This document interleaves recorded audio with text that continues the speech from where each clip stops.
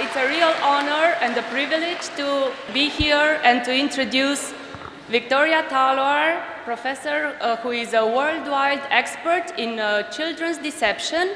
And uh, I think uh, on a personal note, it's a real, real privilege for our research group, who's also involved in doing research in child deception, uh, to, to have her here directly. I still remember when I submitted our first grant in this direction that we kept citing the Talwar and Crossman 2011 review. Oh, it was the, like a sort of a very seminal paper that we had, and uh, I can't believe you are really here.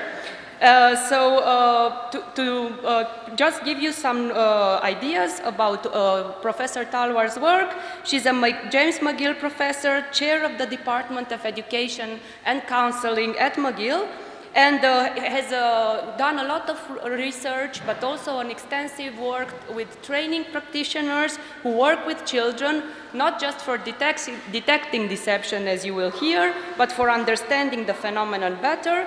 She has received several distinguished awards, uh, is an American Psychological Association Fellow and a Fellow of the Association for Psychological Science and member of the College of the Royal Society of Canada. So thank you very much for accepting our invitation and looking forward to hearing your talk. I want to thank Laura for inviting me. Um, it's very exciting to be here after all the uh, drama of the last uh, few years and to see people in person. So um, I'm going to talk about uh, children's verbal deception. That is um, when children make verbal statements to intentionally mislead others. Um, so looking at their lie-telling behavior, and in particular today I'm going to focus on sort of uh, research that is pertinent and relevant to child witness testimony and in forensic context. So, so where I first started was, well, we knew anecdotally that people say that children tell lies, but when do children start telling these lies? And how do we examine this behavior? Because if you think about it, um, when I lie, if I tell a lie, I don't suddenly sort of tell the lie and then say, I just told a lie. We don't uh, let people know we tell a lie because the whole point is to be is to get away with the lie. So if we're successful, then it's a concealed behavior that other people uh, don't know that we have done. So it's this private concealed behavior. So it's tricky to examine this experimentally. Because if I were to just go to a playground and to observe children or a shopping precinct and observe adults, they might tell lies, they might make verbal statements that are deceptive, but I might not necessarily know that they've done it because I need to be able to verify if their statements are true and false. I need to know what ground truth is. So we need to create situations where children's lies can be observable and verifiable, that we know what ground truth is. We also um, you know, it's, we don't tend to um, tell people, okay, you tell a lie, you tell a truth. That's a, could be a parlor game. But in reality, there's a certain artificiality if we assign people to uh, conditions of giving us false reports and truth reports. So we also wanted to create situations where the person can um, the child can spontaneously decide to tell a lie. Because that's what we do in real life. We make the decision um, that for um, our interpersonal goals that we feel that we need to lie and to give a deceptive statement. So we wanted to create situations where children's lies were uh, elicited uh, naturally and spontaneously. And finally, um, I always get this question um, within, whenever I'm speaking to forensic or psychology law audiences, which is, Okay, Victoria, that's interesting, but are these situations the same as the situations where children are testifying in court? And the simple and quick answer to that is no. Because we have to do this within an ethical framework, so we can't cause harm to children. And often children are testifying about cases that are quite serious in nature, such as abuse. Um, um, ethically, we can't create an abuse situation in the lab. So we have to create situations that are analogous, that have features that are analogous to the types of situations they have. And so that's also another reason why to look at it spontaneously, because when you're lying, there's um, an emotional component to it. You're a little bit fearful, maybe the person's not going to believe you, maybe you're not going to get get away with this lie, um, as opposed to when we've instructed someone to lie and they know that you already know that you know, they're lying and it's almost condoned. So we've looked at a whole range of different types of lies in my lab. That's the bit, that's the creative bit where we have to sit and figure out how can we create a situation that uh, uh, meets all these features to it. And and one of the earliest types of lies, which I'm going to start off with, that children tell are lies to conceal their own transgressions. So these are lies to sort of escape negative consequences when you've done something you're not supposed to, like eating a cookie that you weren't supposed to before dinner, or an adult doing something at work which causes the computer to crash, and they say, who, who touched this computer last? Oh, I don't know who touched this computer. Um, we tell lies for personal gain to get something we want. I don't know, in Canada, people have to do income tax, and people sometimes lie on the income tax in order to, you know, get more money. Um, we can, uh, so these are very sort of self-serving lies, and um, often referred to as antisocial lies. They're really for our, serve our own purposes and our own interpersonal goals. But on the other end of uh, the spectrum, there are lies that are mother, more other-oriented. So these could be lies to be uh, polite, like, oh, I love this fish tie you got me for Christmas. Um, and these are lies to sort of protect the other person's feelings. Um, we can also tell lies to be altruistic, where there's a potential cost to ourselves, but there's um, um, a gain for someone else. Um, so for instance, to give you a real world example, during Nazi occupation, there were people who um, concealed and lied to protect Jewish people. There was a potential cost, a real world cost to themselves if they were discovered in their lie, but there was, they were lying for um, principles of justice and uh, care and well-being for humans. So um, they were sort of putting those principles above um, the, the need to be honest. So we can lie even for altruistic reasons.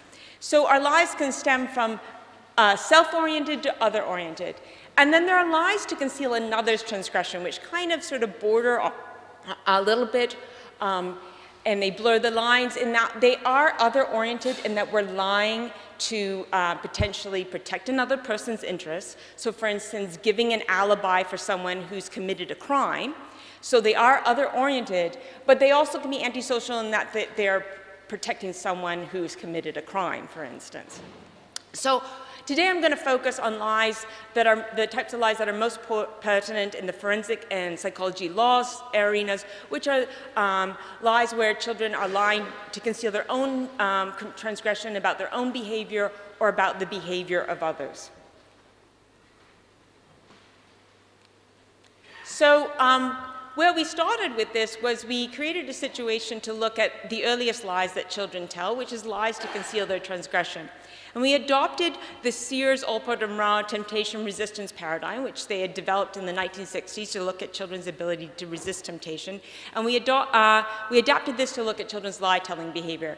So in this um, experiment, uh, we have different toys, and you bring the toys out, and they make uh, different sounds. So in this example, you see up on the on the screen, there's a baby. The child's back is to the toy, so they can't know what it is. And you squeeze the toy, and in this case, it's a baby. It makes a crying noise, and the child gets to guess what it is. And we have a big bag full of lots of different toys that are age appropriate for the children that we're looking at, and also are often ones they know, so different character, TV characters that are popular at the time. Um, so you see here in the setup, and the, uh, we play this a few times. So in the first one, there's Elmo, and you squeeze Elmo, and Elmo makes his character sound. And then the experiment asks her, what do you think it is? And the child gets excited and says it's Elmo. And they're told repeatedly they're not allowed to look at the toy. And then at the end, they can turn around and play with the toy. So they play this a few times. And for the last target toy, we put a toy up on the table. So in this example, it's uh, Mickey Mouse. And um, the experimenter says, oops, I forgot uh, something in the other room, so I have to go get it. I'm going to play the last toy for you, and you have to guess what it is. But don't peek. So they're emphatically told they're not allowed to look. And then the researcher leaves the room.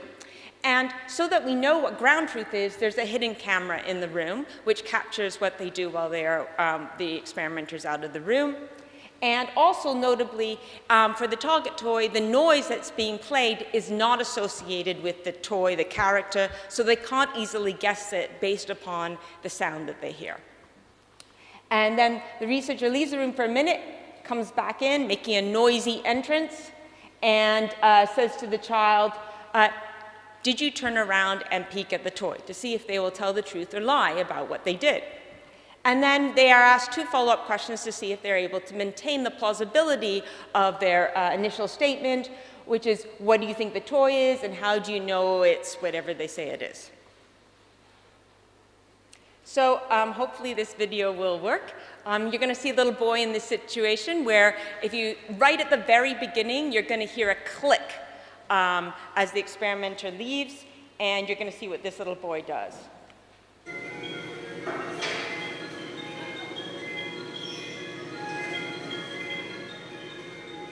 So as you see, um, very fast. Um, in our North American samples, they, they peek at that age pretty fast. They can't resist temptation.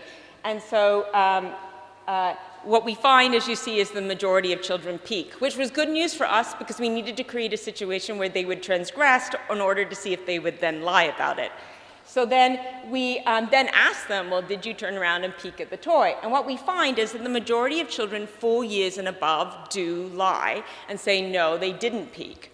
Um, but you'll notice that there's significantly less three-year-olds um, lie, and this has been replicated over and over by us and others that uh, children under four are uh, lie at a lower rate and it's not to about four that you get the majority of children lying.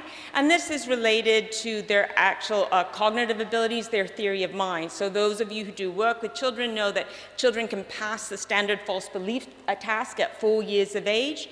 And so younger children whose theory of mind abilities are still developing um, tend to lie at this uh, lower rate. And in fact, the emergence seems to appear in the preschool years and it's tied to their uh, theory of mind abilities. So that gets to the next question. So we know that they, we found that they lie and this lying emerges in the preschool years, but what about their lie-telling skills? Can children be convincing lie tellers? So to do that, we need to look at their expressive behavior, both their nonverbal behavior to make sure that their facial expressions and their body clues do not arouse um, suspicion, um, we call this nonverbal leakage control, and also the verbal um, abilities to make sure that the content of their verbal statements do not con uh, contradict their initial lie statement. And we call this semantic leakage control. So we first showed this to undergrads and parents to see if they could detect children. Um, and what we found was that they were um, pretty much at chance or below chance. So those of you who do research with adults, for instance, are not at all surprised at this. Adults are not good at detecting lies, and we found that, and uh, uh, several meta-analyses have found that. And in fact, a meta-analysis came out recently that looked at adults' abilities to detect children's lies, and in fact, and indeed, we're kind of not very good. We're about 54 percent. Um, so that was not, um, that subsequently is not surprising. This originally was uh, done at the early 2000s. Um, but also, interestingly, I always get asked the question, well, were there gender differences? Do you find gender differences? And just to preempt that question, the answer is no. Not reliably, not consistently, and not frequently. So at this age, we're not finding a lot of gender differences in this type of lie and in the other types of lies. Um, but what we did find interestingly in this study was we found when adults were rating the, um, and trying to distinguish the lie tellers from the truth tellers, they were more likely to rate boys as lie tellers, even though boys were not more likely to be lie tellers than the girls. So there seemed to be a bias to think boys um, are little liars when it comes to their misdeeds. So we thought, okay, well, the adults are not really good at this, but maybe they're still leaking something. So if we have trained coders code their nonverbal behavior, maybe they're still leaking some um, expressive, nonverbal expressive behavior. So we coded uh, frame by frame 36 different behaviors, and we found a couple of differences. We found that the liars had much bigger smiles, and the truth tellers, um, the non-liars, had more relaxed mouth. So Paul Ekman would call this duping delight. Did you peek at the toy? No.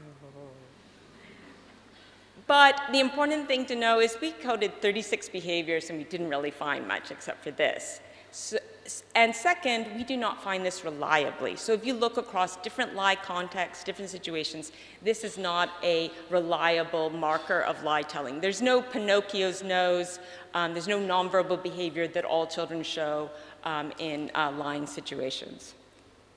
So not really, we can't really distinguish them on the nonverbal behavior. But what we have found, um, and subsequent research has found, is that you can distinguish them on their verbal behavior. When we look at children's ability to maintain the plausibility of their lie, to answer follow-up questions, young children are not very good at it. Um, they are poor lie tellers and they have difficulty maintaining their lies when asked follow-up questions. And as you see from this graph, um, we've us and others have looked at it all the way up the age range, and you see that by eight, nine years of age, that is when they are starting to get uh, better at maintaining their lives.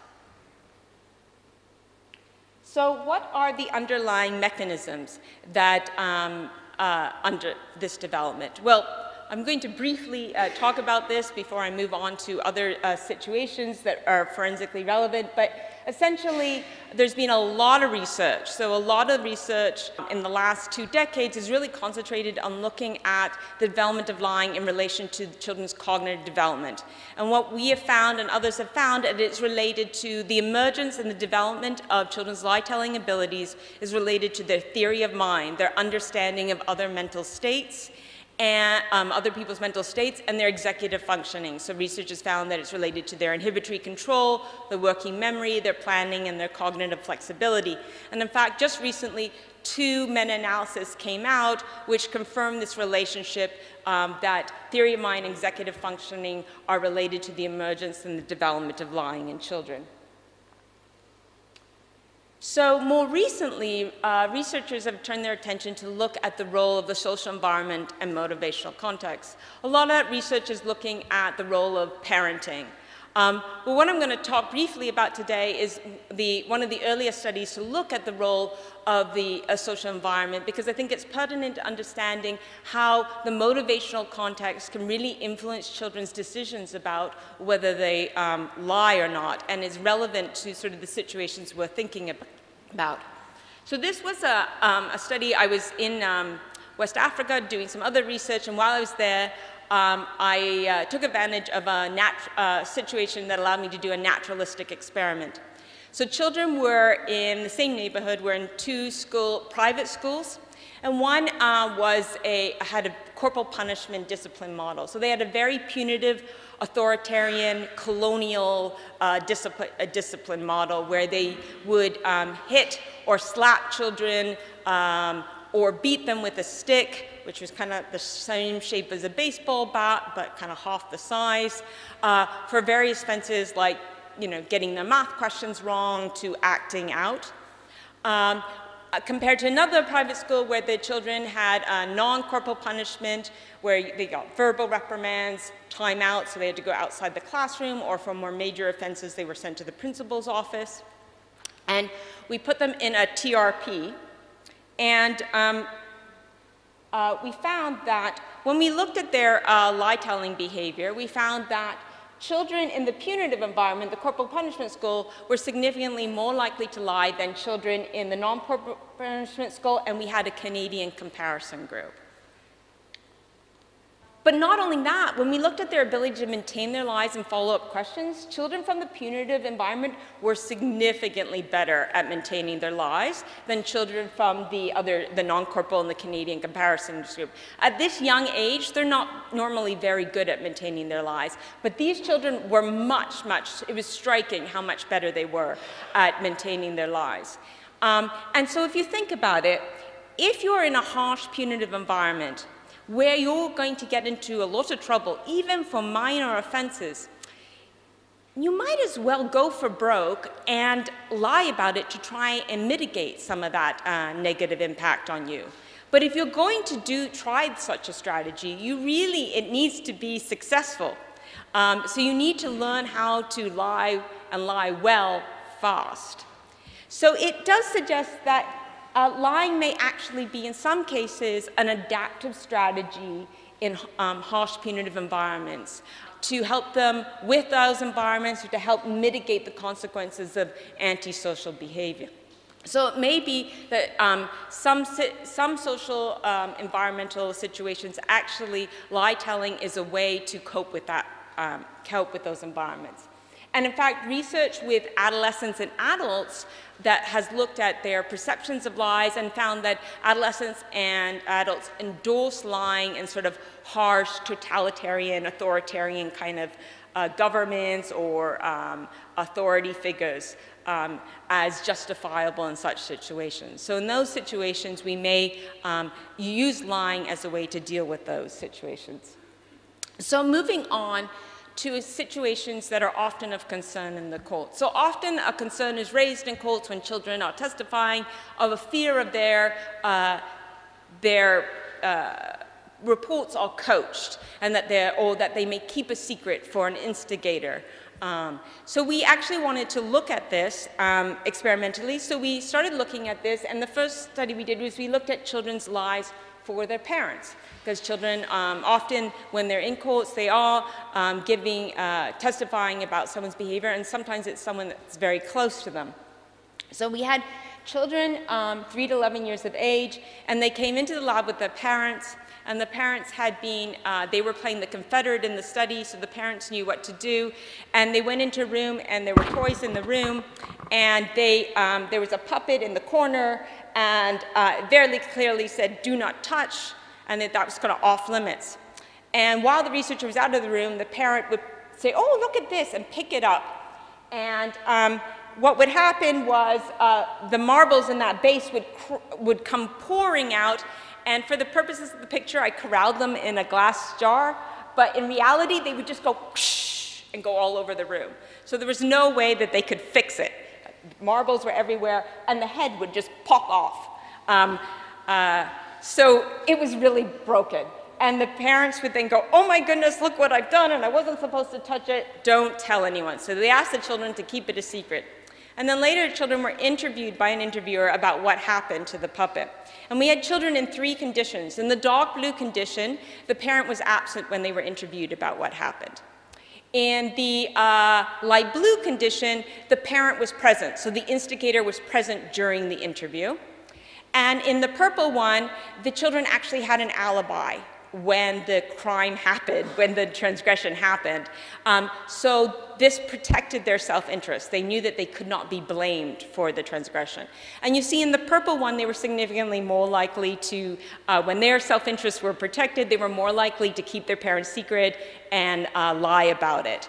But please note that um, less than half of the children concealed the lie. So you see that marker there, under 50% of children overall lie to, to keep their parents' transgression a secret.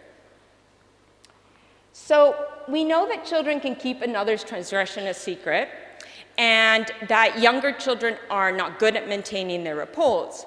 But then how does the amount of coaching influence children's reports? And that one, you know, the, the, the parent just said, you know, oh, I'm going to get in trouble, don't tell anyone. It was really minimal. So if we look at their actual, we wanted to look at the influence of heavy versus light coaching on children's reports. So in this study, we had children interact with a research assistant at their home. The research assistant came to their home and played games with them. They were sort of, no one else was in the room. It was just them and the research assistant um, playing games. And then in the intervening week, they were coached by the parent to say that they played a game with the research assistant that actually involved touching their body and placing stickers on their body. Um, and um, then a week later, they were interviewed by a different researcher. And so we asked parents to keep a log of their coaching, uh, the amount of time they spent coaching the children to uh, give this false report this false allegation. And we had that, so for low, we characterized them as low, so low was on average about 20 minutes, moderate was on average about 45 minutes, and um, high was um, on average 90 minutes. And what you see is that um, when children had low amounts of coaching, um, these children are young children, they're not they weren't that great at maintaining the false allegation or they sort of, they, they confessed it up or they revealed it in some way. But when they had moderate, so on average 45 minutes or more of coaching, they were significantly better at maintaining the false allegation. Um, so we wanted to look at this a little bit more, um, and so we did this one, this study in the lab, where we then um, uh, manipulated within the lab the amount of coaching that we did. Um, so in this situation, uh, children uh, pled with a Confederate, and the Confederate, there was a toy box which was off limits. There were other toys in the rooms, but this one was an off limits one, and the Confederate, while they were alone with the child, would say, oh, let's play with it. It's okay, no one will ever know. And they open up the box and they take out the toys and show them to the ch child and they interact with the child. And then the Confederate breaks one of the toys. So they played with this box, they're not even supposed to be playing with it, and then they break something. So they put it all back and they close it up. And they ask the child to keep the transgression a secret. Don't tell anyone um, that I did this.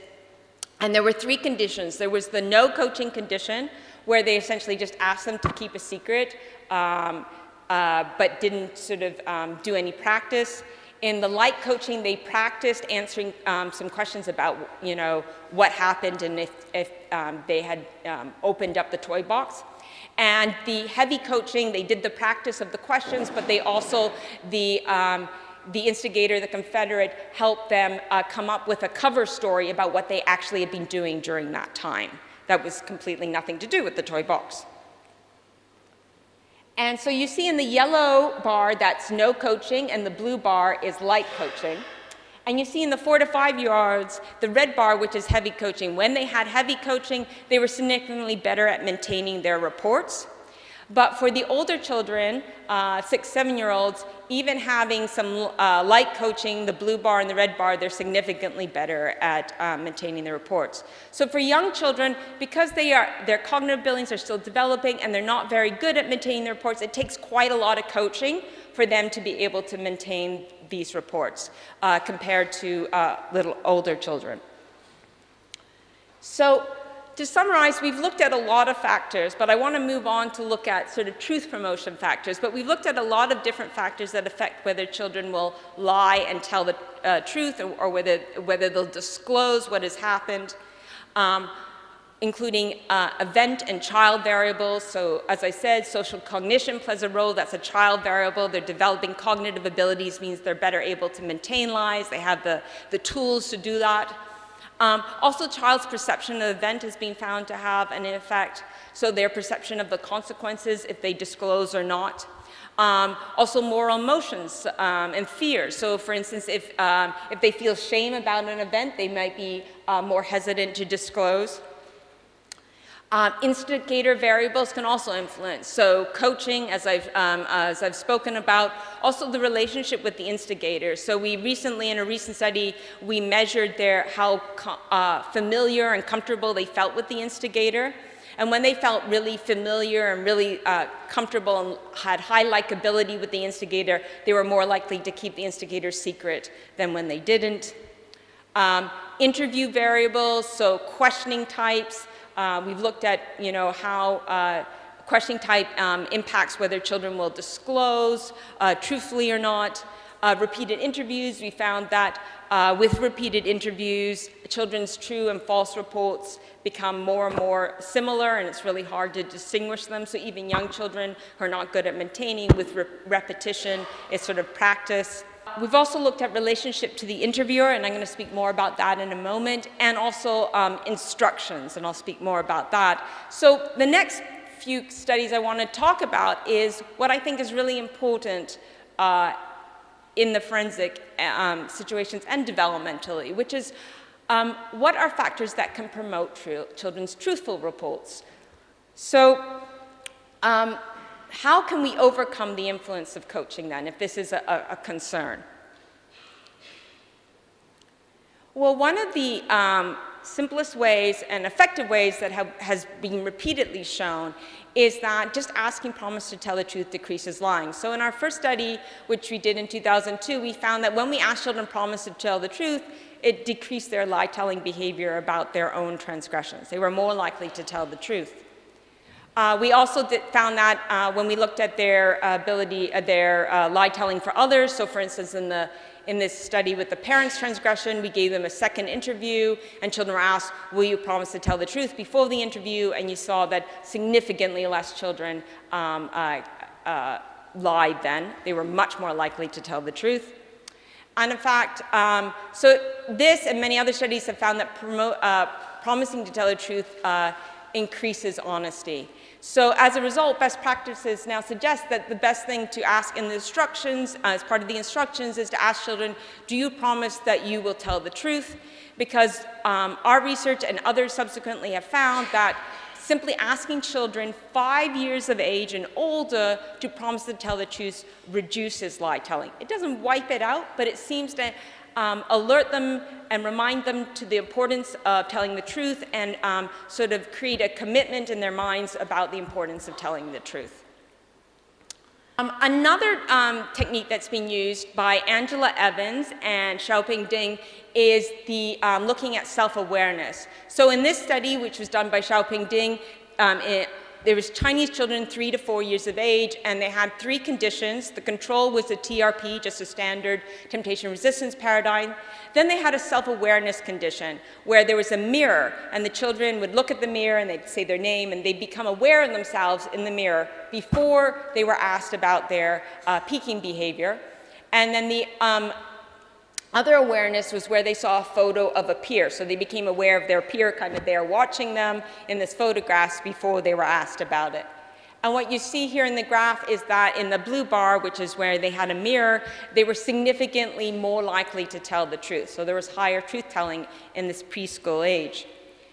And so um, just recently, Angela Evans and I, um, COVID kind of uh, somewhat stymied us in doing this study, but we had started it before COVID and had to finish it after. Um, we uh, were looking at um, promising and self-awareness to find out what was the most important, uh, most effective truth promotion method. And so we had children do a TRP, and they were in four honesty promotion conditions. One was they were asked to promise to tell the truth. The second one was self-awareness. They had a mirror and they made, were aware of themselves. The third one was a promise plus self-awareness condition, and then we had a control with no, no truth induction. Um, and if you can see in this graph, so if you look to the left, um, that's three to four-year-olds, and you see that the light blue bar, which is a self-awareness condition, significantly less children are lying in that condition at three to four years of age. But the other um, uh, methods are not having as, as, good, as profound an effect. But when if you look to the right of this and you look to the 7 and 8, you see the blue bar, which is promising to tell the truth, and the red bar, which is promising to tell the truth, plus the mirror, they are having an effect on children's um, uh, uh, truth telling, and they're more likely to tell the truth. They were less likely to lie in that condition. So what it suggests is that different truth promotions may have different effects with different ages. It seems that, for instance, under five years of age, promising doesn't have an effect, but um, this self-awareness method does. But older than that, um, especially with the older kids, promising does have this an effect. So those, both the self-awareness and the truth promotion conditions are conditions that um, sort of alert yourself to your own personal commitment to be honest. But there are other ways that you can be sort of prompted um, or um, to think about um, the importance of being honest or the consequences. And one is observing another person's honesty or dishonesty. So in this study, my graduate student Peresky and Garas did a study where a Confederate broke her, her, her glasses. And she was out of the room. And children then observed the Confederate either tell the truth with a positive outcome, so Peresky was pleased with them for telling the truth, or with a negative outcome, she, was, she got upset. A lie-telling condition with positive outcome, they were uh, believed, um, or a lie-telling condition with negative outcome, they were not believed and she was upset. And a control condition that, um, where they didn't observe um, truth or lie-telling.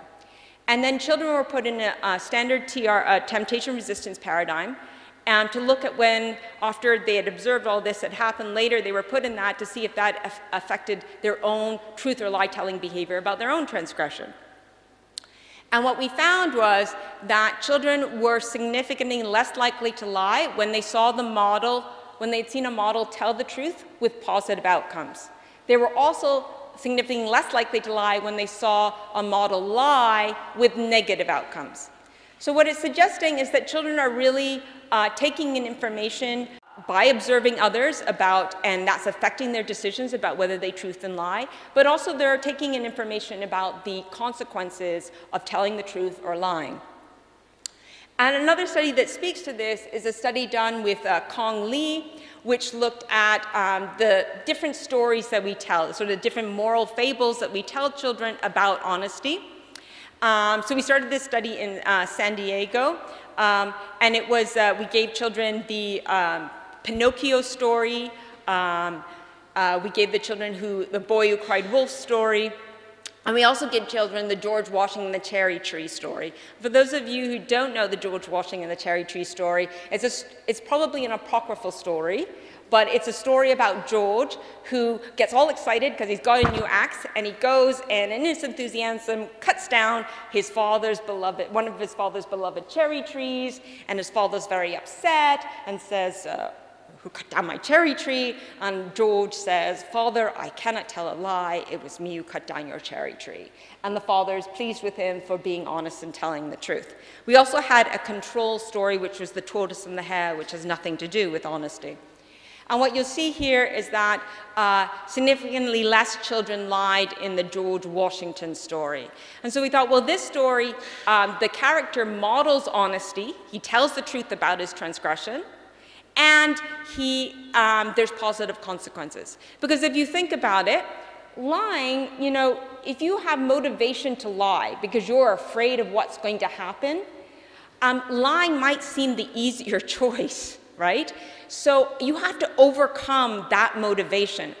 And so it may be in conditions where they see someone be honest about a hard thing, like confessing a transgression, about something that you are a little hesitant to admit to, you see a character uh, confess to it, and then you see that there are positive consequences, like the earth does not fall down on top of you, that can maybe potentially be a powerful uh, uh, message to children to alert them to, okay, maybe I can tell the truth about this. So then the question was, can an instigator's influence be overcome then? Um, uh, when they've been extensionally uh, coached to make false reports. So uh, again, we use this, uh, this paradigm with the forbidden toy chest and the breaking of the toy. And in this study, the, uh, the research assistant asked them uh, to keep it a secret and um, because that they broke it, and then they gave them extensive coaching with a cover story. And then the children were interviewed by the research assistant about what they did with the um, uh, by another research assistant. And they, before they were asked the substantive interview, they were given one of three stories. A positive moral story where the character tells the truth, positive outcomes, negative moral story, um, lie telling with negative outcomes, and a neutral story. And we found once again that in the positive story, which emphasized the positive consequences of honesty, this increased uh, children's honesty. Um, also speaking to uh, children's expectations of consequences and how this may play, this is playing a significant role in their decision making about whether they're going to lie or whether they're going to disclose the truth.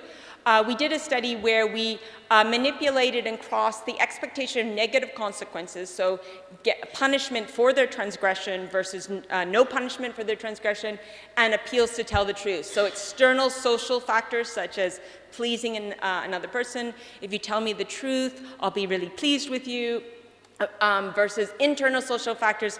If, um, if you tell the truth, you'll be pleased with yourself because it's the right thing to do.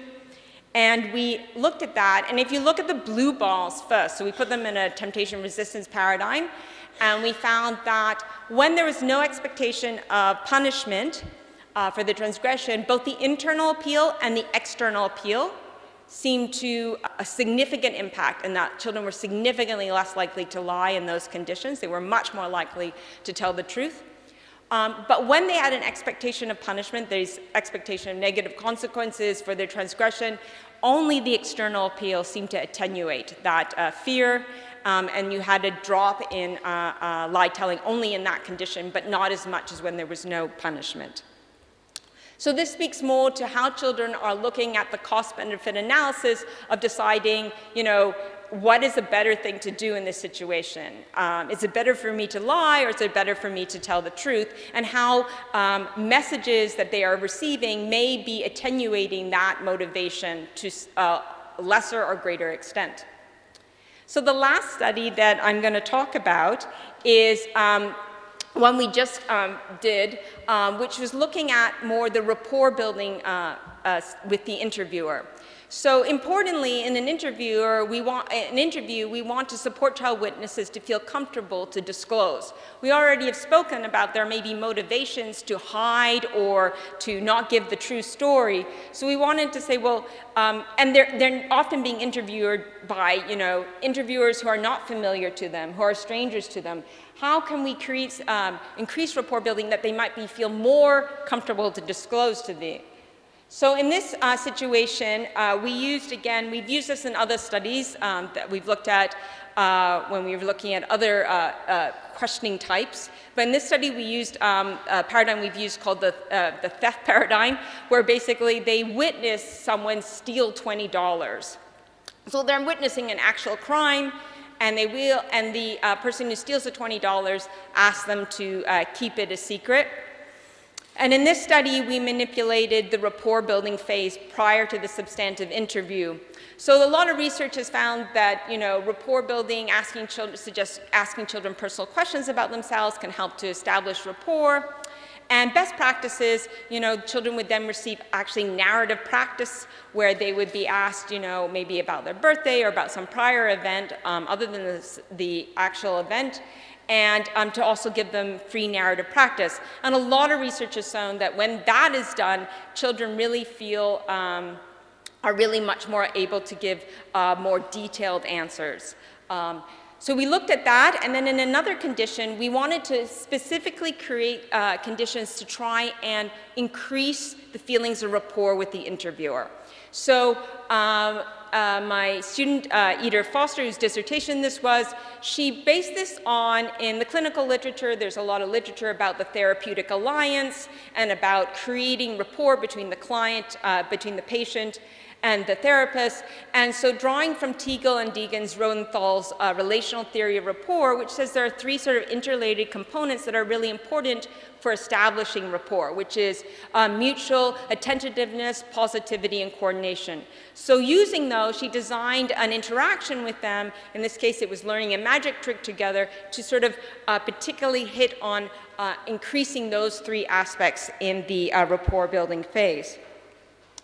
And so, and she also, we measured whether children actually felt rapport. So we asked them how comfortable they were, and we also gave them uh, the CHARM-C, which is an, a, measure, um, a standardized measure of rapport. And what we found was the manipulation worked. Children felt significantly more rapport in this act, interactional rapport condition. And then when we look at children, so we gave them an interviewer where we give them uh, sort of uh, free recall, open-ended questions to uh, about what happened to elicit as much of their narrative as possible, and then we ask some closed-ended questions at the end. And you see about 70% of children concealed. So the red is concealment, and you see 70% of children actually concealed in the free recall. And um, about 20% of children sort of disclosed uh, initially, and then another 10% by the end of the free recall with some prompts uh, disclosed. So about 30% of children had disclosed by the end of the free recall. And um, overall, of those children that did disclose, it was fewer older children attempted to conceal. So it was more older children that did disclose. Um, when we looked at the, but we also found an age by condition effect. So I know these screens are really small, so just essentially what you're seeing here is that, first of all, by the end of the interview, about 45% uh, of children fully disclosed by the end of the interview. And when we look at open-ended questions on the left side, you see that children 10 to 13 year age 13 year olds of age were significantly more likely and also in the, by the end of the interview to disclose um, in the interactional rapport conditions. So what we found was that older children were significantly more likely to be truthful and disclose the transgression. And we also looked at number of details, which I'm not showing on this graph, but they also gave more details in the interactional rapport building condition. So it seems that in particular this helped the older children to feel comfortable to disclose the theft and, um, and uh, overcome their desire to protect the instigator. So just for conclusions, I know we're going on time, um, children's lie telling emerges in the preschool years. And um, children tell lies for both themselves and for others. And with age, children become better at maintaining their lies. However, I always like to note that children, like adults, will lie. There is no greater concern with children than there is with adults. Adults are motivated to get on the stand all the time and lie about various things. We don't get up in arms about adults in the same way that sometimes people get alarmist about children. So there is actually no greater risk for children lying on the stand than there is with adults. In fact, there might be even less concern because, as we have seen repeatedly, young children are not skilled lie tellers whereas an adult might be very plausible indeed. So there is a potential here for developing methods of detection and also for truth promotion. Um, and so while, and I know that people, often defense lawyers, like to point out, oh, this might be a coach report. So yes, children can be coached to keep a secret, and coaching can affect the quality of children's true and false reports. Just because children are coached does not mean they will report the coach story. Remember, less than half of those children um, reported their parents, uh, uh, uh, kept their parents secret. Um, and whether they will do this is influenced by child, instigator, type of event, and interview factors, a whole host of ones beyond just the child. Um, so I really think that it's important to, to look at strategies to overcome coaching and overcome motivations to conceal or to make false allegations. And we can do that by developing methods of encouraging honesty. So far, the nascent research suggests that emphasizing um, and giving reminders of the importance of honesty has an impact. So just simply by asking children, uh, will you promise to tell the truth, it alerts them to the importance of telling the truth. Doesn't mean for sure that they will tell the truth, but uh, how many adults break their promises? Um, and then um, you can also, by modeling honesty and seeing positive consequences for honesty, can impact their decision making, and also potentially creating conditions to increase their comfortability to disclose can also increase their truthful disclosures. But notably, what you're seeing there is that we see some evidence that there may be age differences, and that some things may work that work for younger children may not work for older children and vice versa. So we need to further investigate it to look at what works at different age ranges. And so the, really the next question I think that really needs to be studied in depth in many different ways is how do factors that promote honesty overcome these factors and motivational factors that promote lying.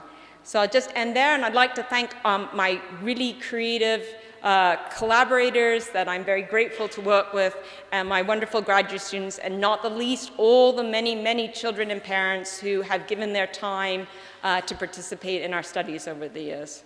So thank you.